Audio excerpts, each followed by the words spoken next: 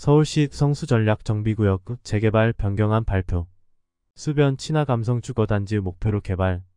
성수동이라는 동명은 옛날 성덕정이란 정자와 뚝도수원지가 있던 곳이라 하여 각각 첫머리를 따서 성수라 했다고 합니다. 성수동은 타성동구 지역과는 중랑천으로 인해 단절돼 있어 별개의 생활권이었습니다. 1995년까지는 광진구였을 정도로 성동구보다는 광진구 생활권에 더 가깝습니다. 이전에는 큰 규모의 공업 지역이 있었습니다. 이 성수동 공장지대는 점점 축소되고 다양한 형태로 재개발돼 주거지와 업무지구로 변화되고 있습니다. 이 공장들을 재건축해 지식산업센터라는 오피스 공간이 생겨났습니다.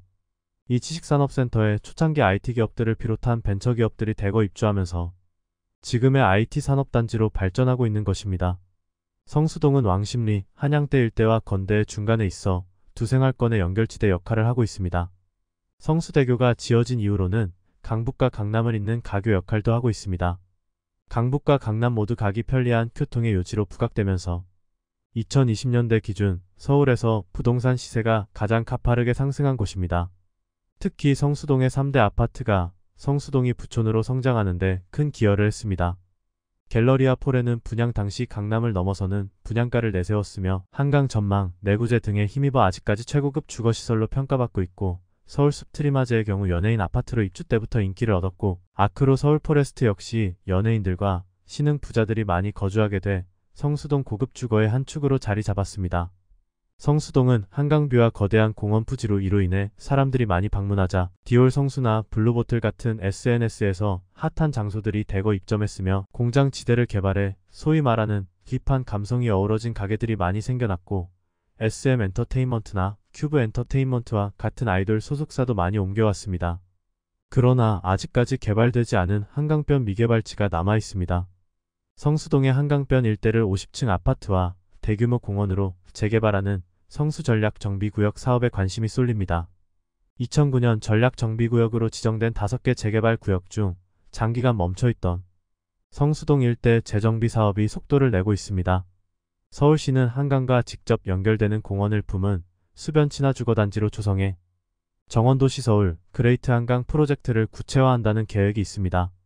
얼마 전 서울시는 성수전략 정비구역의 재개발 정비계획 변경안을 발표했습니다.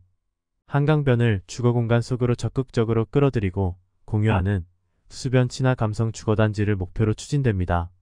서울시는 10년 이상 정비사업 추진이 지연된 사업을 재개하기 위해 지역을 둘러싼 이해관계를 조율하고 최근 정책 제도를 반영해 4개 지구 주민협의체 회의를 통해 각 지구별로 사업 추진이 가능한 정비계획 변경안을 마련했습니다.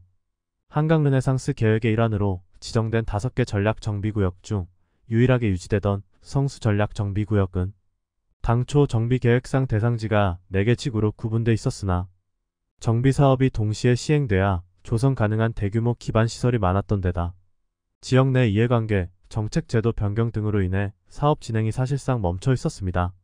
이번 성수 전략 정비구역 정비계획 변경안은 강변북로로 가로막혀 있던 대지 여건을 개선해 도보로 한강변에 접근할 수 있도록 하고 문화휴식 조망 등 다양한 활동을 즐길 수 있도록 공공성을 확보하는 것이 핵심입니다. 뿐만 아니라 당초 정비계획 이상의 사업성을 확보할 수 있는 방안 또한 포함되었습니다.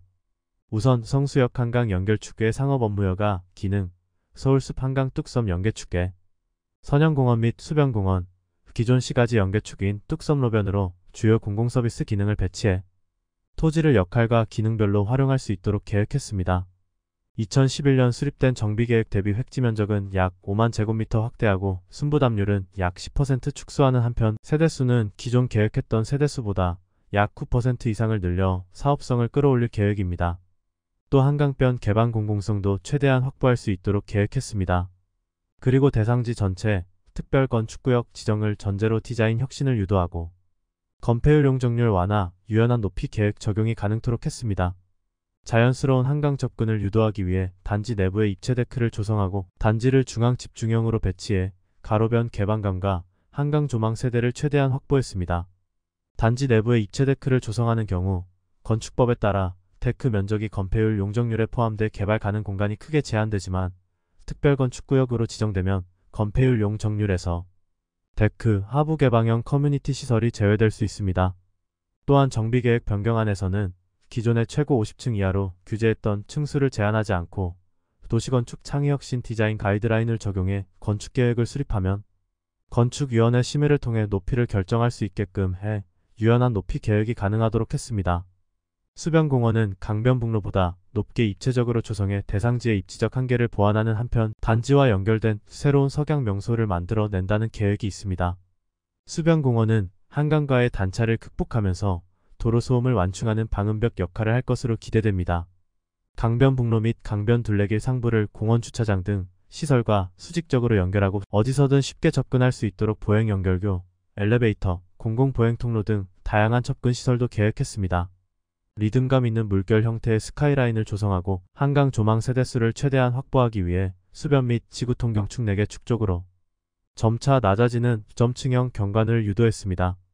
한강 남단에서 성수 지역을 바라볼 때 시선이 한강에서부터 주거단지로 이르기까지 다층적 경관을 볼 수 있게끔 계획했습니다. 최근 높아진 성수 전략 정비구역 관심들로 인해 투자 적격 여부에 대한 많은 질문을 받습니다. 분석이 따로 필요 없는 지역입니다. 말 그대로 강북 지역에서는 한남 뉴타운을 제외하면 가장 시세가 높을 지역이고 경제적인 여력만 되면 언제든 진입해도 되는 입지라고 답변합니다. 단 토지 거래허가 구역이기 때문에 실거주 요건이 필요합니다. 결국 이 지역을 신규로 진입할 세대는 몸테크를 각오하고 진입해야 할 것입니다. 누구도 가르쳐 주지 않지만 꼭 해야 하는 일. 나에게 가장 가까이 있지만 멀게만 느껴지는 일. 남들보다 빠르게 시작하는 것이 유리한 일. 내가 하고 있는 일은 내 집 마련과 투자입니다. 교통망, 상가, 입지, 세금, 청약. 나는 이 모든 일을 스마트 튜브 경제 아카데미에서 시작하고 있습니다. 스마트 튜브 경제 아카데미